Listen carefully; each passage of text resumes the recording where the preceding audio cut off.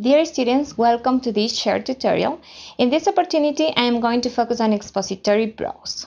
So let's start by focusing on the main characteristics of this type of reading. Well, it has the goal of presenting information about a topic or explaining ideas. Also, it is central for students who will use English for academic purposes, and it contains many facts and details. Um, these different ideas that we are going to present in this type of reading can be presented by using the following patterns. We can use illustration, definition, contrast, comparison, process, cause and effect, and classification. Uh, to become more efficient interpreters of English, expository prose students need to become more familiar with the structure of text. For this reason, they need to learn about how to distinguish between general claims and the data used to support those claims.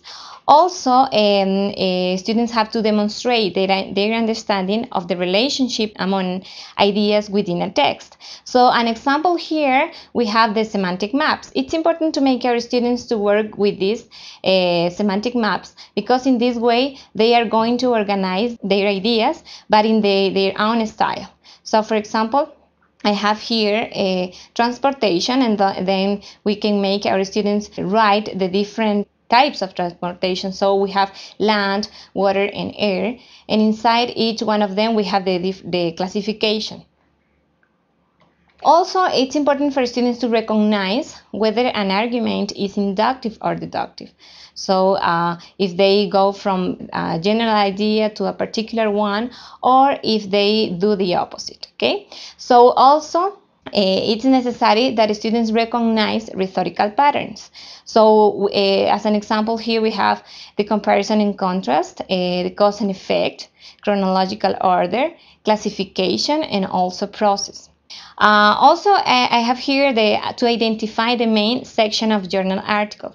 As you know, it's very important for students to recognize and to use this type of uh, studies, journal articles, because they contain very valuable information for them. So, uh, for example, the main sections we have here are introduction, uh, materials and method, uh, results, and discussion we can use different activities in order to uh, for our students to recognize the different ways that we I have analyzed uh, previously analyzed. So, for example, general claims versus data used to support those claims, we can make we can provide students with a format that contains a, topic sentence and example. So in this case, for example, students are going to write a topic sentence that they have read and also they have to write the examples of the sentences that support that topic sentence.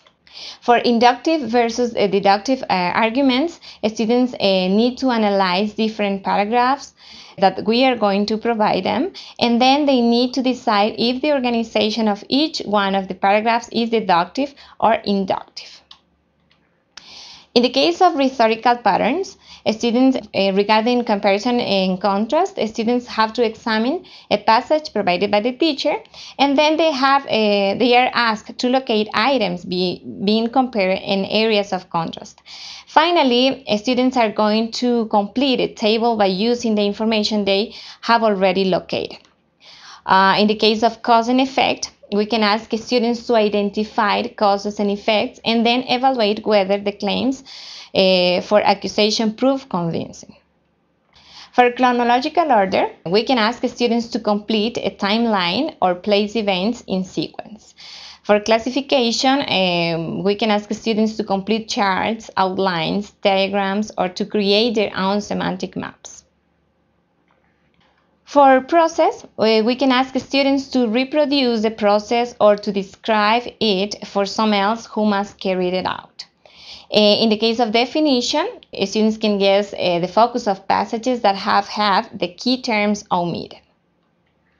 Uh, as I said before, it's very important for, uh, uh, for students to recognize the different sections of journal articles. So, for example, when working with introductions, a teacher can ask students to bring journals articles uh, and examine a series of introductions. In the case of materials and method, uh, students can work in groups or pairs describing to each other procedures.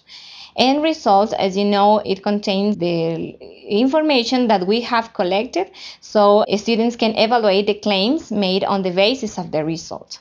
And uh, finally, here in the discussion, students can develop their own discussion sections before reading the published one. Okay, thank you very much. This is uh, all for today.